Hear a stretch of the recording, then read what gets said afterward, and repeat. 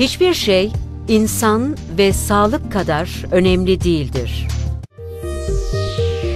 Avrasya Hospital Sağlık Rehberi Özellikle değerli hocam diyor ki bel fıtığı, boyun fıtığıyla ilgili ameliyat yöntemi fizik tedavi ve medikal tedavi öncesinde kendiliğinden iyileşebilir. Tabii Ee, ki. sonrasındaki fizik tedavi ve medikal tedavi aşamasına geçmiyorsa, derecesi ilerleme aşaması varsa Aynen, aynen. çözüm olarak biz ameliyat uygundur diyoruz.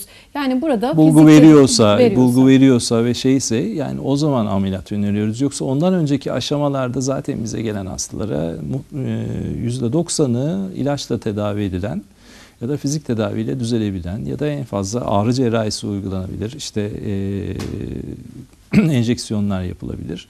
Bunlarla düzelebilen hastalıklar. Derecesi yine Evet, derecesi önemli. Evet. Hiçbir şey insan ve sağlık kadar önemli değildir. Avrasya Hospital Sağlık Rehberi